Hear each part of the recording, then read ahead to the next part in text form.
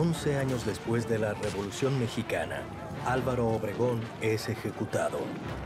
Es el último de los cuatro líderes revolucionarios asesinados durante el conflicto más sangriento de México. El país está dividido y el sueño que nació en 1917 con la creación de la Constitución corre peligro. Pero una nueva generación de líderes emergerá hombres de percepción, innovación e ingenio. Durante las siguientes décadas, estos hombres, cada uno como un gigante, cambiarán la historia e impulsarán su país a la grandeza.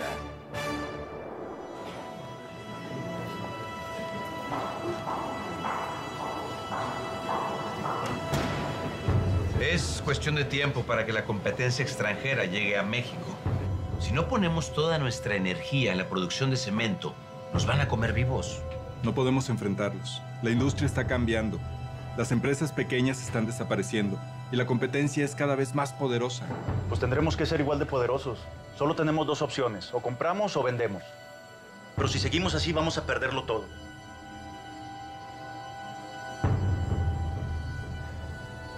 Lorenzo, ¿tú qué piensas? Hace apenas unos pocos años que Cemex cuenta con un nuevo hombre ocupando la oficina del director general. Su nombre es Lorenzo Zambrano Treviño.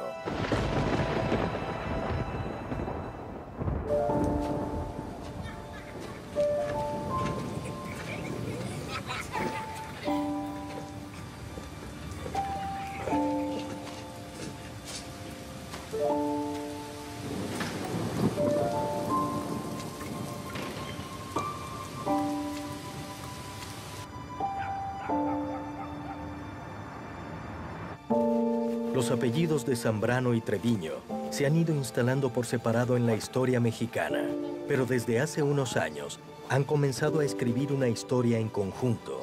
Alejandrina Treviño Madero es sobrina del expresidente mexicano Francisco Madero y ahora también esposa de Lorenzo Zambrano e León, Lorenzo. descendiente de una familia de exitosos empresarios de Monterrey. Voy a cambiar porque estamos muy mojados. ¿Te quieres ir a cambiar tú también? Lorenzo, ¿qué haces aquí? que el cabello, te vas a enfermar, hombre. Ay, ay. A ver. ¿Es el abuelo? ¿Sí? ¿Te acuerdas cómo se llamaba? Sí, Lorenzo. Exacto. Como tú y como yo. ¿Qué está haciendo? Acaba de ignorar su fábrica de cementos. ¿Notas lo feliz que está? Sí. Desde su nacimiento, Lorenzo ha escuchado las historias de la pequeña fábrica de cemento fundada por su abuelo. Esas historias han estado siempre presentes en su memoria.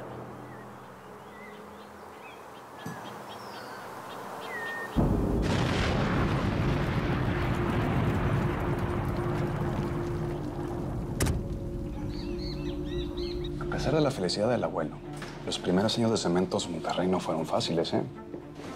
Tuvo una dura competencia con Cementos Hidalgo, de Juan Beringham. Y entonces, las dos compañías tuvieron una batalla durísima. Dejó heridas grandes en ambas compañías. Y la única solución que encontró tu abuelo fue la unión de las dos cementeras. ¿Mm? Y no fue hasta mm, el 4 de enero de 1931 cuando finalmente se fusionaron. 13 años antes de que tú nacieras, ¿eh?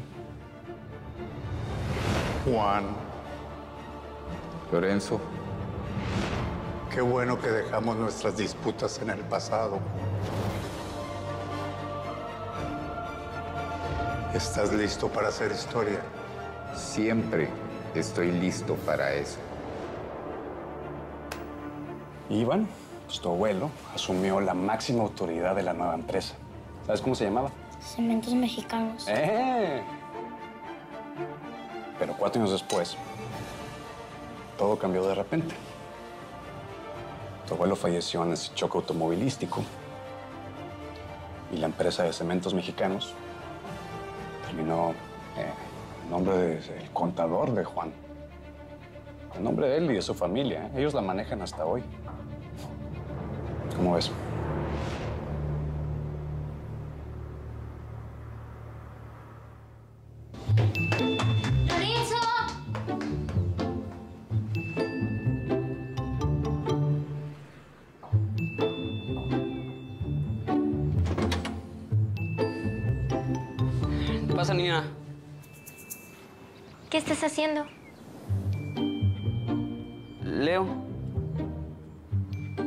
¿Por qué siempre estás leyendo?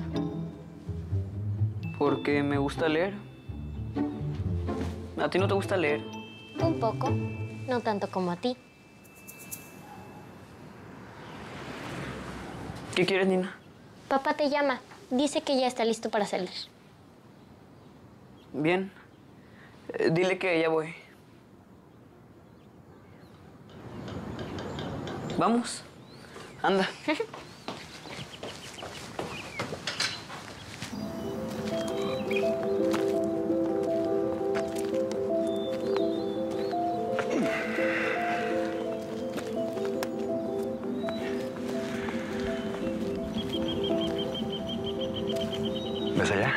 Sí. ¿Te acuerdas la foto del abuelo? Que sale bien alegre. Sí. Ahí es donde lo tomó. De ahí sacó las primeras piedras de cementos mexicanos. Ahí está Cementos Mexicanos. ¿Sí? Se ve muy pequeño desde aquí. No parece tan inalcanzable. Para tu abuelo era todo el mundo. Voy a ir ahí y recuperar la empresa de la familia. El abuelo va a estar muy orgulloso de mí.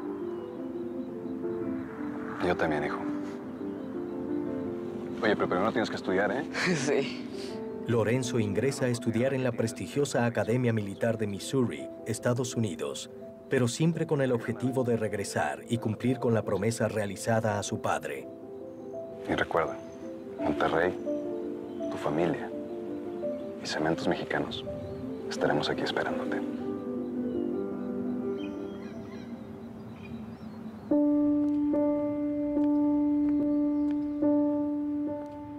Hermanos, don Lorenzo nos deja hoy en medio de una pena en la que nos es difícil entender que él está ahora mucho mejor que nosotros. Con apenas 15 años de edad, Lorenzo pierde a su padre y se ve obligado a abandonar sus estudios en Estados Unidos para regresar con su familia. Ni llanto. Cuando murió nuestro papá, tanto él como todos nosotros estuvimos muy, muy tristes porque se volvía a repetir lo mismo que pasó con mi abuelo, que murió muy joven. Hoy, aquí mismo, frente a la tumba de mi padre, te prometo que voy a recuperar lo que le pertenece a la familia.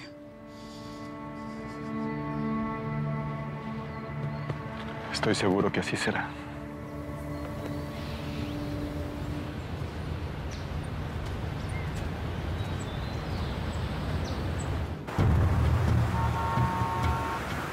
Tuvieron que pasar casi 10 años para que Lorenzo se presente para un puesto en las oficinas de cementos mexicanos.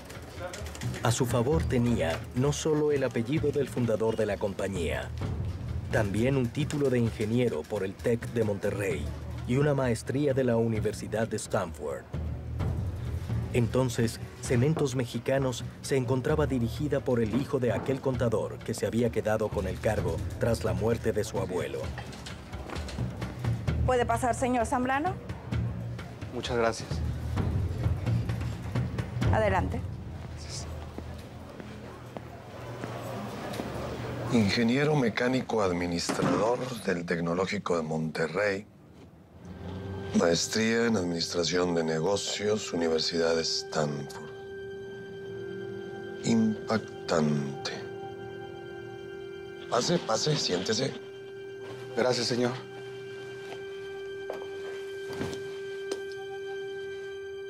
Voy a ser sincero contigo, Lorenzo.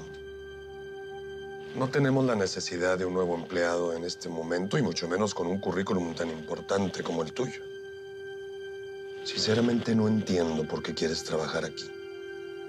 Pero tu tío es un miembro muy importante en el consejo de esta compañía y me pidió que te diéramos la oportunidad. Acepté que empieces a trabajar aquí, pero no puedo tener favoritismos contigo. Sí, señor. Esto no es un juego, Lorenzo. Voy a tratarte como si fueras un empleado más, aunque cargues el apellido de uno de los fundadores de la empresa, aunque tengas un título de Stanford. Comprendo. Sobre esas bases, bienvenido a Cementos Mexicanos. Muchas gracias. No se va a arrepentir. Con permiso.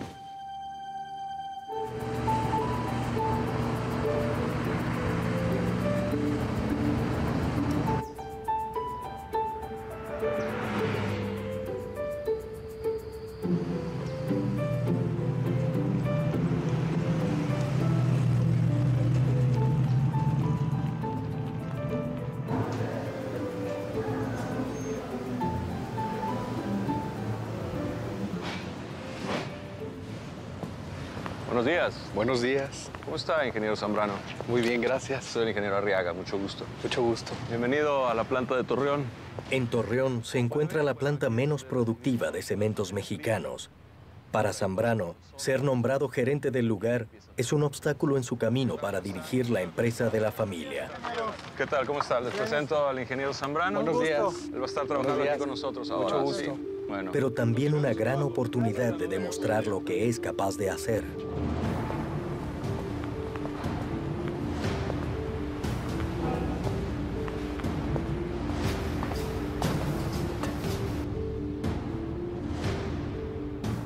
¿Y qué anda haciendo Zambrano Arriaga? Por el momento no ha hecho gran cosa.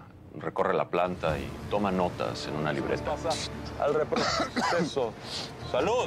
Gracias. ¿Y qué anota? El proceso, cosas que faltan. A veces hace unos dibujos que no entiendo muy bien.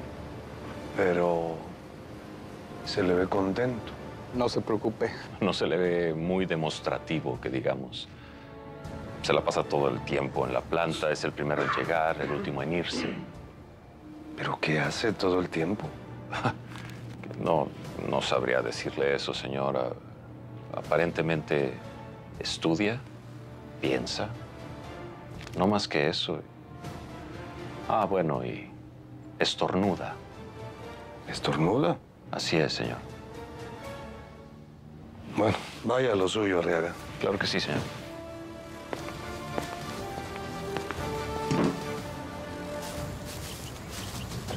¿Y los camiones? ¿Ya están? ¿Son solo esos? Así es. Son pocos y ese se ve que ya no funciona. Ya hemos solicitado otros y nos han prometido que nos mandarán algunos camiones de la planta de Monterrey cuando los cambien por No, nuevos. así no se puede trabajar.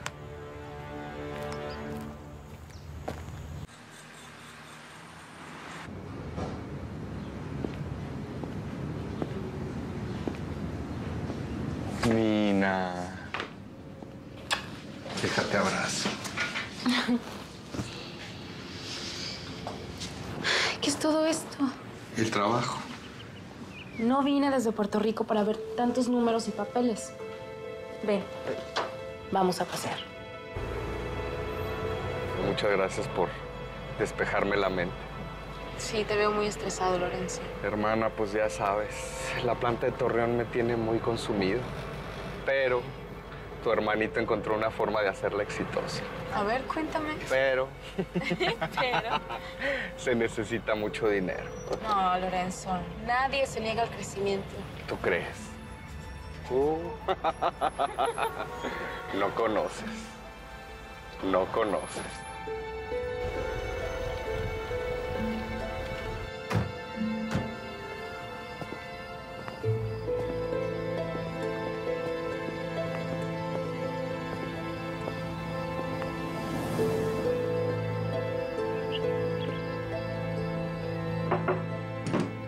Permiso. Adelante. Gracias.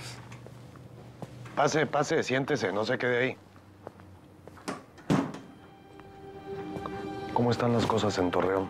De eso precisamente vengo a hablarle, señor. Bueno, pues entonces vamos al grano porque no tengo mucho tiempo. No se preocupe, voy a ser breve.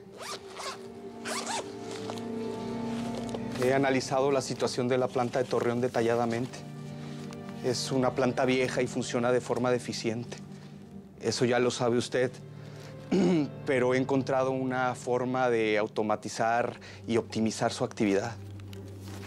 ¿Y esto? Es una computadora. Podemos automatizar los resultados del proceso. Hasta ahora hemos sobrevivido sin la necesidad de estas máquinas. Eh, Pero en mi paso por Stanford yo vi que era... es México, Lorenzo. Aquí hacemos las cosas de la forma en que sabemos hacerla. Además, no vamos a invertir dinero en experimentos de dudoso resultado. Ande, vaya, vaya. Gracias, señor. No le quito más su tiempo. Vaya, pues. Lorenzo Zambrano era una persona discreta, de pocas palabras, analítico, profundamente inteligente y sensible, y yo diría que también estoico.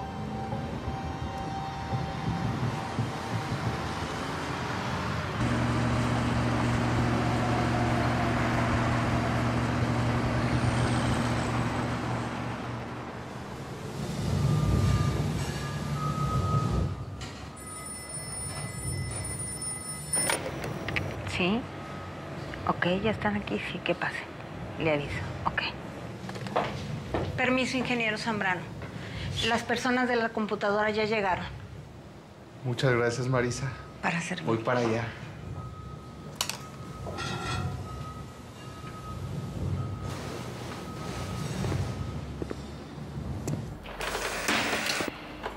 Buenas tardes. Buenas tardes, señor Zambrano. ¿Cómo va todo? Va muy bien todo. ¿En cuánto tiempo? Cuestión de segundos queda listo todo. Perfecto. Síganle, por favor. Gracias.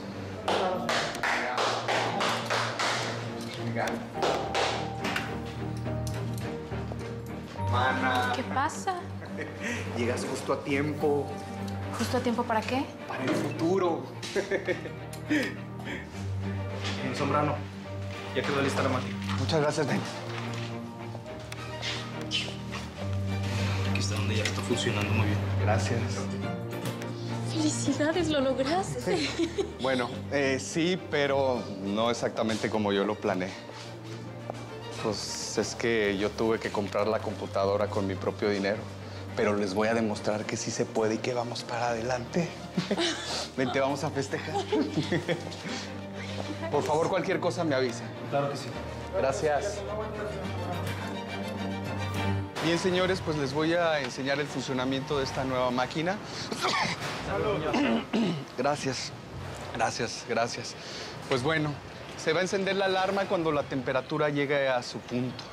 Mientras tanto, necesito que tomen nota de todo. Las estadísticas, los tiempos, todo lo necesario, por favor. Y así evitaremos pues, que se apague el horno, salvo que sea necesario. Ahora sí que necesito que pongan atención, por favor. Pues a trabajar. Lorenzo Zambrano con un liderazgo eh, de gran innovación, un ingeniero en una compañía cementera, se atreve a ver decididamente para afuera.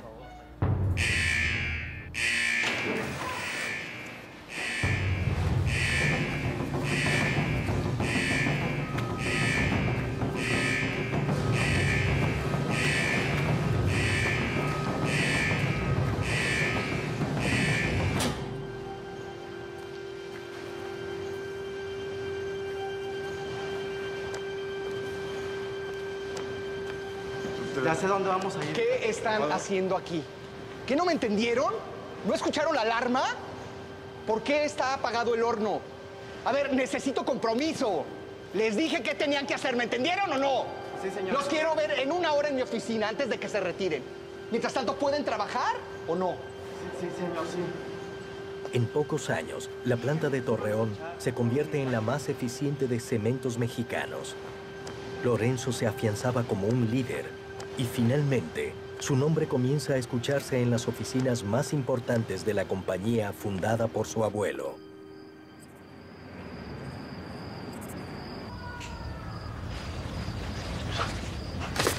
Aquí tienes, tío. ¿Cuántos libros tienes? Muchos.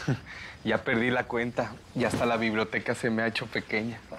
¿Y los has leído todos? La mayoría sí.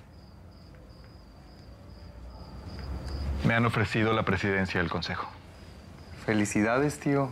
Gran noticia, pues vamos a brindar. Aguarda, aún hay más. Queremos que formes parte del consejo. Creemos que puedes hacer un gran aporte desde este lugar. Tómate unos días para pensarlo. No, no tengo nada que pensar. Para mí sería un honor formar parte del consejo. Pero, ¿y el director? ¿Qué pasa con él? Pues sería muy incómodo trabajar en el mismo espacio. Sabes que se opondrá a todos y cada uno de mis planes. Lo sé. De hecho, se ha resistido mucho tu incorporación. Pero no estás solo, Lorenzo. Hay más miembros de tu lado que del suyo. Es él el que debería estar preocupado. Salud, salud. Gracias.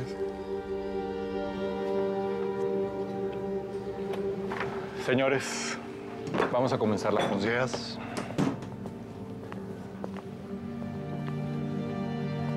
¿Y el ingeniero Zambrano hoy tampoco va a venir? Avisó que no puede. Sigue con un problema de salud. Qué extraño que entre tantas máquinas del futuro no haya sido capaz de encontrar la cura para sus alergias. Vamos a comenzar con el orden del día.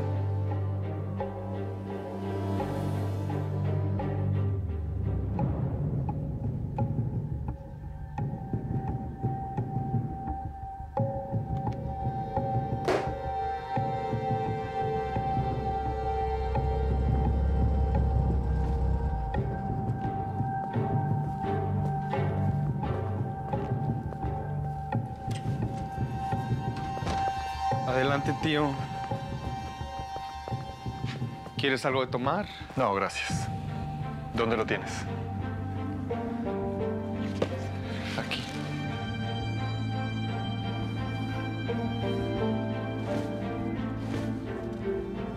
La empresa tiene un potencial que no están aprovechando. Hay que modificar estos procedimientos ahora o quedaremos atrás de la industria. Si no se comienza a modernizar, vamos a perder lo que tenemos. ¿Qué vamos a hacer?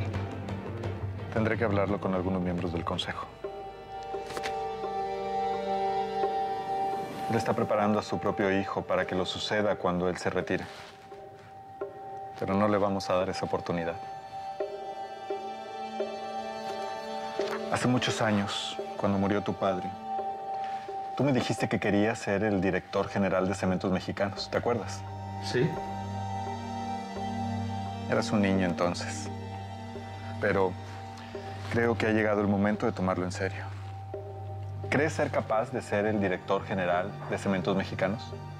Sí. Estoy preparado y quiero hacerlo. Su tío, Marcelo Zambrano, presidente del Consejo, siempre vio su talento y potencial. Su apoyo fue determinante para la exitosa carrera que le esperaría a Lorenzo. Hemos hablado con el ingeniero y nos ha manifestado su deseo de dejar el puesto de dirección general de la compañía. Ahora bien, para su reemplazo, creo que es justo que el puesto de director general sea ocupado por Lorenzo Zambrano. Vamos a proceder a la votación. Un momento, poder- señores. Como todavía soy accionista de esta empresa, quiero expresar mi inconformidad ante la postulación del ingeniero Lorenzo Zambrano para la dirección general. ¿Cuál es el motivo? No es nada personal, Lorenzo, pero simplemente creo que estás subestimando la posición que vas a desempeñar. Un puesto de director general requiere de mucho tiempo y de mucho trabajo. Yo no creo que con tus recurrentes alergias tú seas capaz de llevar a cabo este trabajo. ¿Cómo es posible que nunca se haya dado cuenta, ingeniero? ¿Darme cuenta de qué? De que su presencia es lo que me enferma. A lo único que soy alérgico es a usted.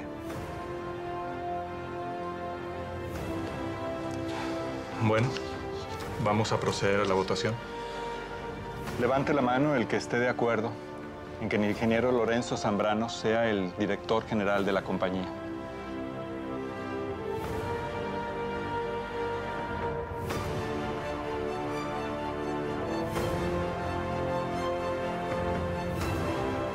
Lorenzo estaba muy contento porque era uno de los sueños de su vida. Por fin, otra vez, estaba dentro de la familia. Lorenzo Zambrano Treviño se ha convertido en el nuevo director general de Cementos Mexicanos. Ha invertido 18 años de su vida para llegar a ese lugar. Ahora debe demostrar que ese tiempo no ha sido en vano. Dos años después de asumir la dirección general de Cementos Mexicanos, ya bajo el nombre de Cemex, Lorenzo Zambrano Treviño se enfrenta al primer gran desafío de su gestión, México atraviesa una de sus peores crisis económicas, provocando que la pequeña empresa de cementos se vuelva vulnerable ante sus competidores. Es cuestión de tiempo que la competencia extranjera llegue a México. Si no ponemos toda nuestra energía en la producción de cemento, nos van a comer vivos. Pero no podemos hacerles frente. La industria está cambiando. Las empresas pequeñas están desapareciendo y la competencia es cada vez más poderosa. Pues tendremos que ser igual de poderosos. Solo tenemos dos opciones, o compramos o vendemos. Lorenzo, ¿tú qué piensas? Zambrano sabía que debía fortalecer su empresa y para ello necesitaba mejores puntos de distribución en México. Pero estos pertenecían a la competencia, por lo que la única manera de lograrlo era comprar a sus competidores pero no tenían el dinero suficiente para hacerlo. Lo que sí tenían era la opción de asumir un riesgo. No voy a rendirme ante el primer obstáculo. Vender no es una opción.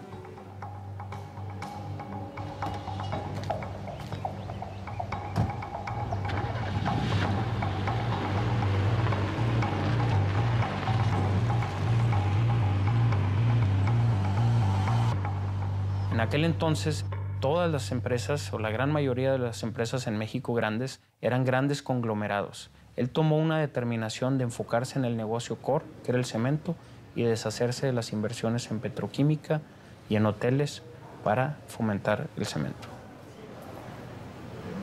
Creo que ha llegado el momento de vender algunas empresas.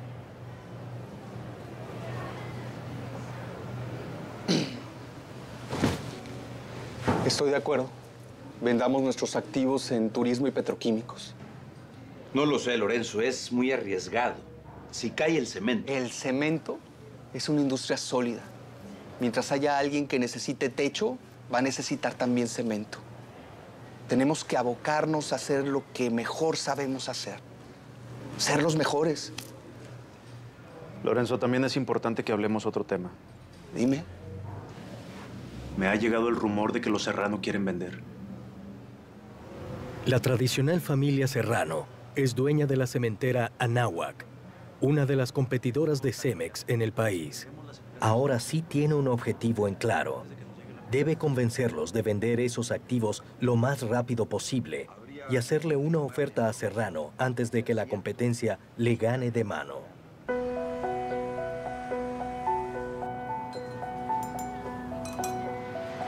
No lo imaginaba tan joven. Pues ya ve. ¿Le gustan las plantas? Me gustan las plantas difíciles. Gracias, Rocío. Gracias. Es usted un joven muy extraño. Lo sé. Usted sabe que el negocio del cemento no va para ningún lado, ¿verdad? Puede hablar tranquilamente. No pienso arrepentirme de vender. Ya no quiero saber más nada del cemento. Yo quiero trabajar en el cemento toda mi vida. Así es que voy a seguir luchando. Pero para eso necesito ser fuerte, para enfrentar a los gigantes. Como David a Goliat. es usted un joven muy atrevido. Me cae muy bien. Bueno, pues hagamos números. Con la compra de cementos Anáhuac, Cemex logra tener una pequeña presencia en la capital del país. Lorenzo comienza a saborear el gusto de consolidarse en la industria. El paso siguiente es seguir creciendo. Señores, necesitamos aumentar esos números de productividad. Alejandro Carlos, ayúdenme. La compra de cementos Anáhuac resulta beneficiosa para Cemex. Fortalece a la compañía que dirige Zambrano, pero no lo suficiente como para poder enfrentar a sus gigantes competidores. Hello? Yes? Okay, let's have a meeting. Thank you very much. Alejandro, Carlos. Los ingleses quieren vender su parte de Tolteca. Dicen que están cansados de invertir en un país tan inestable como México. Pero sonríe, Carlos. Son buenas noticias. ¿Qué tienes en mente? Pienso que si compráramos Tolteca nos convertiríamos en la empresa cementera más importante de México. Bueno, Lorenzo, pero no tenemos el dinero. Ah, ese ya lo resolveremos. Ahora lo importante es ver cómo vamos a convencer a la Junta. Adelante. Vamos a la oficina. Lorenzo sabía que convencer a la Junta no iba a resultar una tarea sencilla. Cementos Tolteca era una empresa de igual tamaño o aún mayor que Cemex. Así que iba a ser necesario endeudarse para adquirirla. Pero Zambrano estaba muy seguro de lo que hacía. Su osadía no tenía precedentes y los miembros de la Junta debieron aprender a acostumbrarse a ello.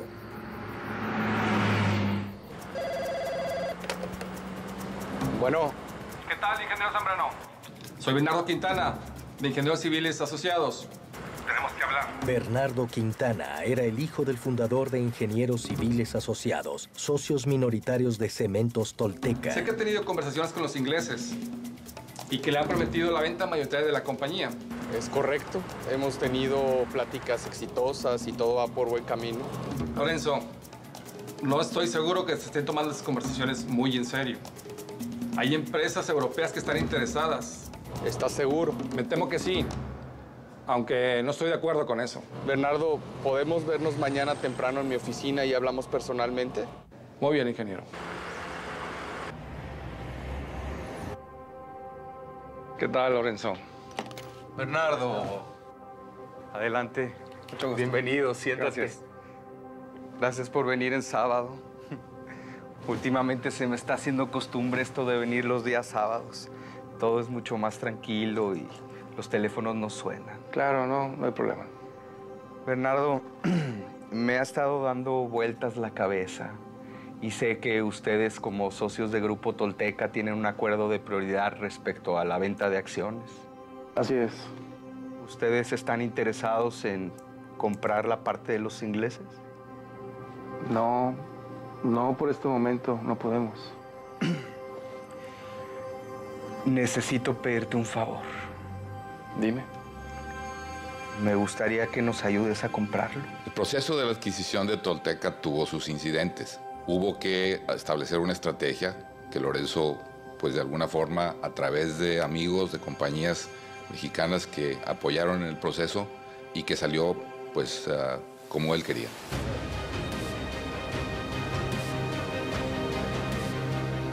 La operación de la compra de Cementos Tolteca resulta exitosa. Cemex se posiciona como la cementera más importante de México y una de las de mayor crecimiento del mundo entero.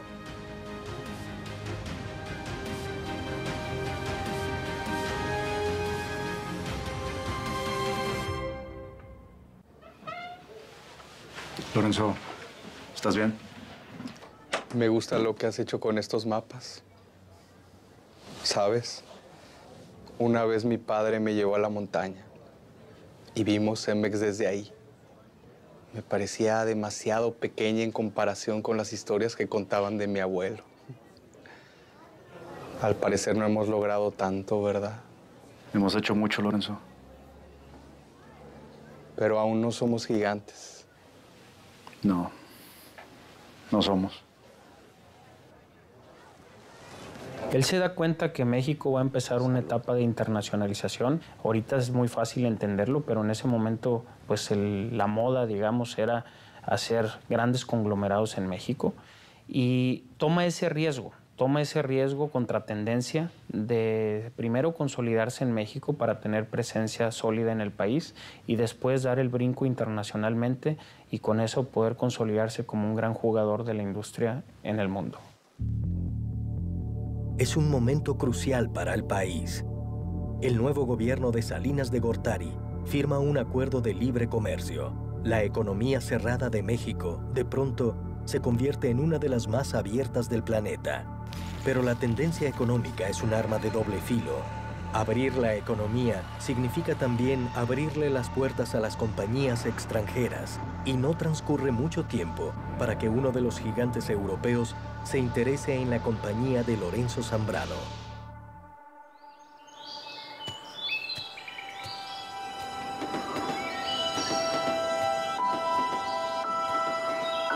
Lorenzo hace un repaso sobre la historia de su padre y su abuelo. No puede perder la empresa de su familia, y mucho menos después de todo lo que ha logrado. Pero la inminente llegada de los europeos a México lo ponen en jaque. Necesita ser un pez más grande, y para ello debe conquistar fuera de México. Adelante, Carlos. Solo pasé a despedirme. ¿Y todo esto? Vamos a modernizar todas las plantas y vamos a monitorearlas detalladamente. Quiero salir al exterior a competir. Ven, te voy a mostrar. Lorenzo está decidido a aumentar las ventas en Estados Unidos. Aquí vamos a comenzar nuestra invasión. Con la compra de Tolteca, disponen de una puerta abierta, pero recién ahora están dispuestos a atravesarla. La venta del cemento de Cemex es un éxito en Estados Unidos. La compañía de Zambrano se consolida en el sur del país, pero llama demasiado la atención de las cementeras locales más importantes. Y no van a quedarse con los brazos cruzados. No puede ser. ¿Qué dice? Nos han hecho una denuncia en la Cámara de la Industria de Estados Unidos. Exigen que paguemos una tarifa compensatoria. ¿Y pueden hacer eso? Claro que pueden. Tienen el respaldo legal necesario. Nos han cerrado la puerta de Estados Unidos en nuestra cara, pero no nos vamos a dejar. Abramos puertas más grandes. Lorenzo, tengo algo que decirte. Sansón y Valenciana podrían estar interesados en vender. ¿Y tú qué piensas? El mercado español es muy interesante, pero sería algo demasiado grande. Si funciona, podría ser lo que hemos estado buscando. Pero de no ser así, podríamos quedar completamente en la quiebra. Y no sé, es Europa y tener una pata ya metida significaría estar en el patio trasero entre los suizos y los franceses. A mí me gusta cómo suena.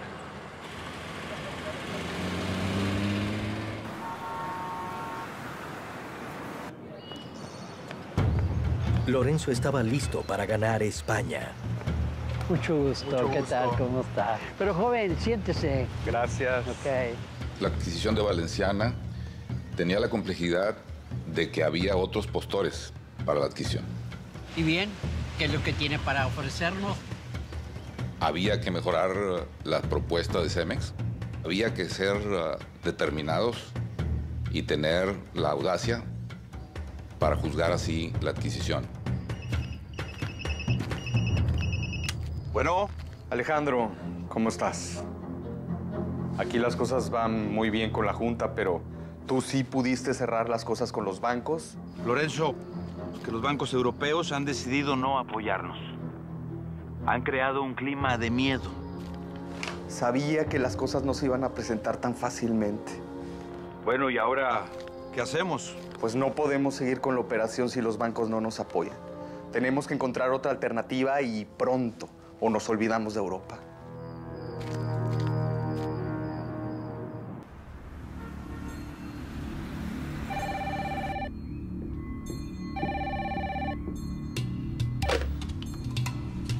Bueno. Finalmente, Lorenzo ha encontrado quien confíe en la operación. JP Morgan y el Citibank acaban ofreciéndoles el respaldo negado por los bancos ibéricos. La operación va a concretarse. ¿Y bien? Mi pequeño amigo mexicano, ¿está listo para hacer negocio? Siempre he nacido listo. La adquisición de las compañías españolas, la presencia de México ahora en España, significa que Cemex está en Europa, que está en el mundo. La crisis estalla en España y la demanda de concreto disminuye drásticamente. La poca confianza que le tienen a Cemex para operar fuera de México provoca una caída precipitada de sus acciones del 25% y la presión para pagar la deuda adquirida es fuerte. Buenas tardes, señores. Supongo que no necesitamos presentaciones. Ya deben de saber muy bien quiénes somos. ¿Y dónde habéis dejado a vuestros padres? Hmm, pues voy a ser breve. Acabamos de llegar del aeropuerto y nos vinimos directamente, así es que estamos cansados. No somos ricos, no somos gente compradora compulsiva de empresas. Somos gente honrada, somos gente de cemento y sabemos muy bien lo que tenemos que hacer. Los mexicanitos quieren enseñarnos a trabajar, joder. pues alguien tiene que hacerlo. Si los mexicanitos, como usted nos llama, ahora somos los dueños. Con una presencia virtualmente diaria, pero también asistiendo mensualmente con todo el equipo directivo, permitió lograr los objetivos de hacer la compañía más eficiente en cemento y en concreto. Nuestras plantas, sea el país en el que sea, tienen que hablar el mismo idioma, la propia marca. Luego de años de viajar constantemente a España, las plantas ibéricas acaban dando ganancias. Cemex recupera la inversión con creces. La hazaña de Cemex, la hazaña de Lorenzo Zambrano, es la hazaña de un México que solo veía hacia sí mismo, se atreve a ver decididamente para afuera. Pasó de ser la cabeza de una pequeñísima compañía cementera a ir ampliando en círculos concéntricos, primero a México y luego al mundo. Lorenzo. Aquí. Ay, hermano, ¿qué haces trabajando en sábado? Ya me conocen, ya conoces a tu hermano. Oye, ¿por, por qué no vamos a desayunar antes de tu vuelo? Sí, claro, tengo hambre. Nunca cambias, ¿eh?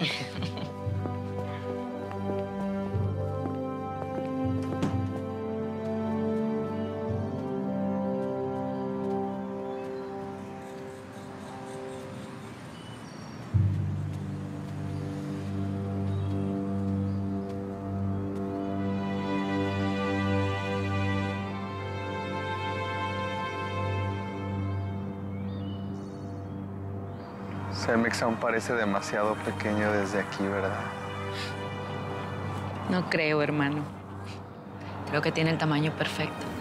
Es un líder integral, entonces deja un legado en la parte de educación, en la parte social, en la parte de deporte, en la parte de cultura y todas estas características en las que él trabajó definen a un líder completo.